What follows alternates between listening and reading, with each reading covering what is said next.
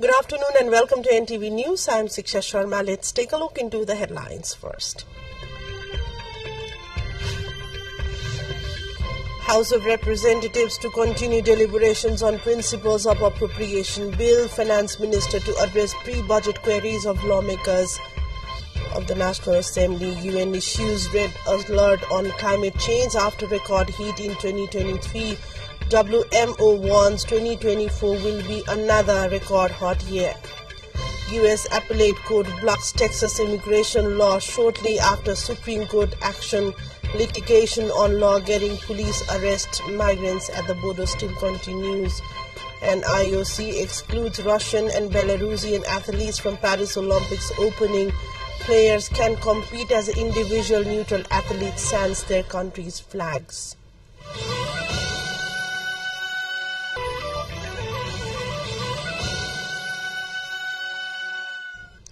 Welcome back to NTV News. Taking a look into news in detail now. The House of Representatives meeting is currently underway at the Federal Parliament building in New Baneswar. In the session, Energy, Water, Resource and Irrigation Minister Shakti Bahadur Basnet will propose a general discussion on the agreement for establishing the International Solar Alliance ISA.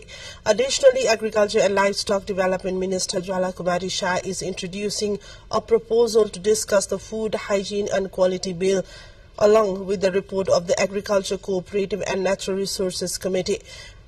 Moreover, a proposal seeking passage of the Food Hygiene and Quality Bill 2080 will also be presented at the House session.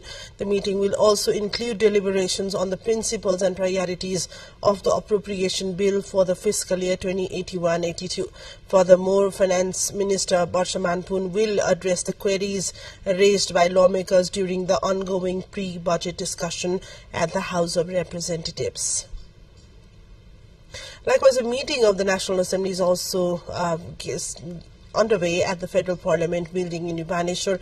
As per the agenda of the meeting, uh, the chairman of the National Assembly will propose the names as members for the Business Advisory Committee.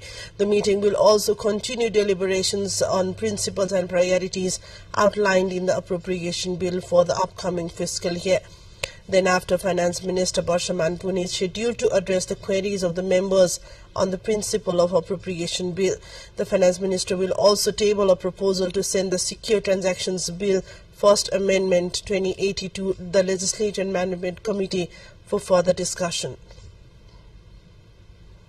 The Kathmandu Valley has witnessed cloudy weather since this morning and a little drizzle is taking place in much part of the valley since the morning today.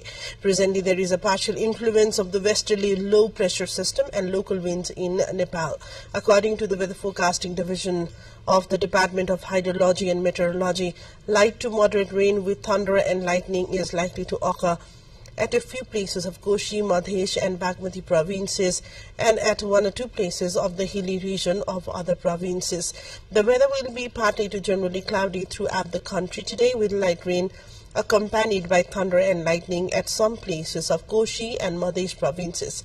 According to the division, light snowfall is taking place at one or two places of the high hilly and mountainous region of Koshi province. The weather will be partly cloudy in the hilly regions of the country, including in Koshi, Madhesh, Bagmati, Gandaki, and Lumbini provinces tonight as well. Let's take a look into a short break here. More news follows up on the other side. To stay with us.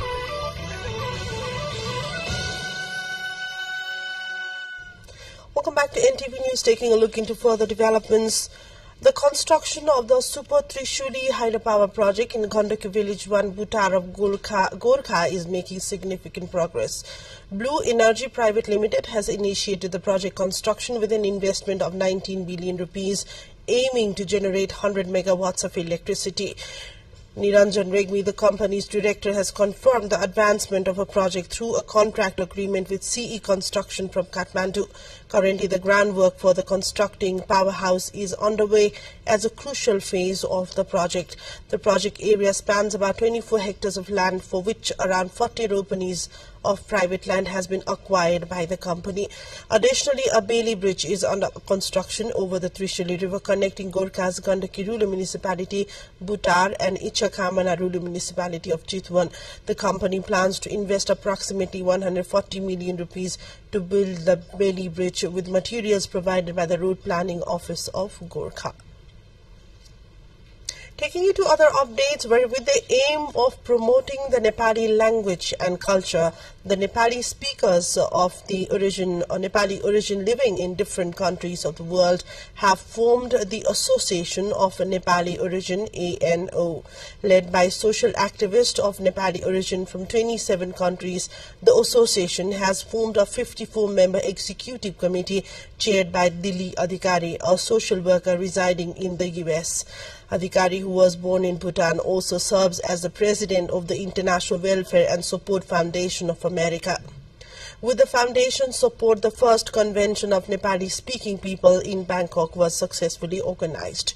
During the convention's inauguration, Nepali ambassador to Thailand, Tan Bahadur Wali, expressed confidence in ANO's ability to unite Nepali speakers globally. ANO's President Adhikari emphasized the organization's commitment to fostering unity among Nepali speakers worldwide. ANO's Vice President Senior Advocate Sushil Kumar Pant highlighted the participation of Nepali speaking individuals from over 45 countries in various campaigns that includes promoting the Nepali language and culture. Nepali artists representing diverse cultural backgrounds have come together to promote the rich culture of Nepal's far western region. Artists adorned the walls of Mahendranagar market in Kanchanpur with vibrant murals depicting the rich culture of the far west region. Started on the auspicious occasion of Araniko Divas, these paintings captured the essence of far western culture featuring Tharu women adorned in traditional attire and showcasing various forms of traditional dance such as Cholia and Hudkeli dances. A total of 22 talented artists have collaborated on this project, each contributing their unique perspective to the depiction of authentic cultural scenes along the district administration road there. Local residents have expressed their appreciation for this initiative, acknowledging its positive impact on the promotion of art and culture in the area. Let's take a look into yet another break. Stay with us for more updates on the other side.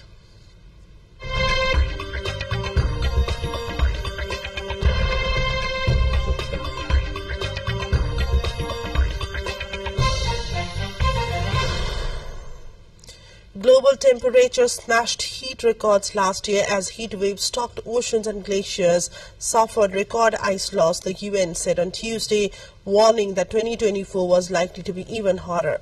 The annual State of Climate report by the UN's World Meteorological Organization confirmed preliminary data showing that 2023 was by far the hottest year ever recorded. And last year was part of the warmest 10-year period on record, the WMO Weather and Climate Agency said, with even hotter temperatures expected going forward. Reacting to the report, UN Chief Antonio Guterres said it showed a planet on the brink. A divided Supreme Court on Tuesday allowed Texas to begin enforcing a law that gives police broad powers to arrest the migrants suspected of crossing the border illegally while a legal battle over the measure plays out. The conservative majority's order rejects an emergency application from the Biden administration which says the law is a clear violation of federal authority that would cause chaos in immigration law.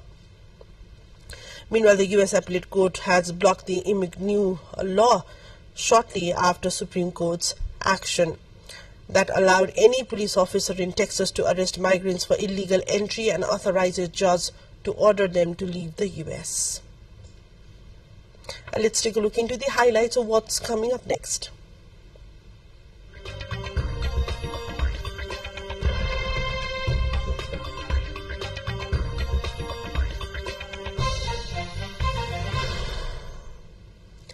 A Nigerian village has been left almost empty after gunmen kidnapped over 80 people on Tuesday. Gunmen in Nigeria have kidnapped at least 87 people in a new attack, residents and police say, after an armed gang seized 286 students and staff from a school earlier this month.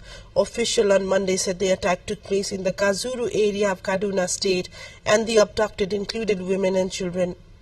Bandits routinely loot villages and carry out mass kidnappings for ransom in northwest and north central Nigeria, where the violence has displaced about 1 million people.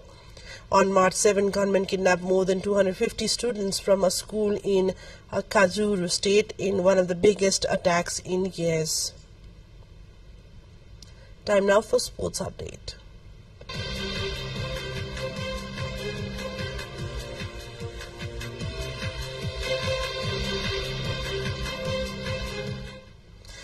International Olympic Committee on Tuesday barred athletes from Russia and Belarus from participating in opening ceremonies in Paris as organizers target countries that are responsible for the war in Ukraine. Athletes from those nations, though no teams would be allowed to compete in individual events as the individual neutral athletes or the AINs. AINs will not participate in the parade of delegations during the opening ceremony since they are individual athletes according to an IOC statement. But any Russian or Belarusian athletes associated with the military and national security will not be eligible to be entered or to compete. The IOC said Russia invaded Ukraine on February 24, 2022, and Moscow's ally and Ukrainian neighbor Belarus has played a key support role in the aggression. The Paris 2024 opening ceremony is set for Friday, July the 26th. North Korea's men's soccer squad has reached Japan for the second round of the 2026 World Cup Asian qualifiers. The team was granted entry as an exception to Japan's sanctions on North Korea. The visitors will face Japan's national squad at the National Stadium in Tokyo on Thursday. The Japanese government bans in principle the entry of North Korean nationals as part of its sanctions on Pyongyang over its nuclear and missile development programs. But international sports events are an exception. Following Thursday's match in Tokyo, the Japanese and North Koreans are set to play at the Kim Il-sung Stadium in Pyongyang on March the 26th. It will be the first time in 13 years for Japan's national squad to play in North Korea. A quick look into the headlines as a reminder of the top stories. House of Representatives to continue deliberations on principles of appropriation bill, Finance Minister to address pre-budget queries of the National Assembly members.